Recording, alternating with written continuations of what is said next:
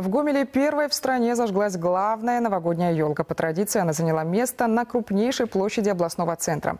Новинка этого года – новое освещение вместо обычных лампочек. Пиксельная гирлянда, которая управляется с помощью компьютерной программы. В структуре световые элементы размером с теннисный мяч. Каждый из них сияет с определенной частотой. В купе световые элементы образуют конусообразный экран, на который транслируются мультипликационные изображения. Они меняются каждые 5-10 секунд и синхронизированы с музыкой. Также на главной площади Гомеля появились новые светящиеся фигуры и конструкции.